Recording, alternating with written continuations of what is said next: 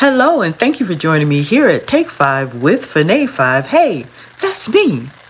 I'm very excited uh, watching my uh, presence grow on the platform, and I'm working on my website so that I can offer career coaching, uh, resume review, all of that good stuff. Because as we get to the end of the year, sometimes we start thinking about changing careers. We have to do performance assessments on ourselves. And if you're a manager like me, you're creating performance assessments for your direct reports. So I'm very excited uh, for what's coming up. And I'm also going to do daily inspirations. Here we go.